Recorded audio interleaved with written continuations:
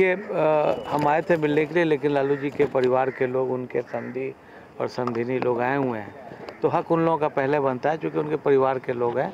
तो हमने कहा कि ठीक है, मैं किसी और वीकेंड पे आ जाऊँगा सैटरडे को। तो होपफुली जो है वो अगले सप्ताह में हम आ जाएँगे। लाली बात सुनिए, ये तो न्यायिक प्रक्रिया है। न्याय पे हमें भरोसा है न्यायपालिका पे, और एक केस में लालू जी को बेल भी मिला है। और न्यायपालिका पे हमें बहुत भरोसा है कि आने वाले दिनों में और जो दो केस बचे हुए हैं उसमें भी उनको न्याय मिलेगा और बेल उनको मिल जाएगा। सर सेहत कैसी है? सेहत ठीक है।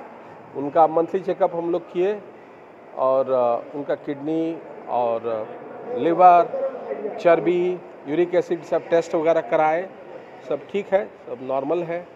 किडनी 50 परसेंट पर काम कर रहा है। शुगर भी ग्लाइकोसेटेड हेमोग्लोबिन सात है। सब मिला जुला के तो स्टेबल ही कहा जाएगा सब ठीक चल रहा है।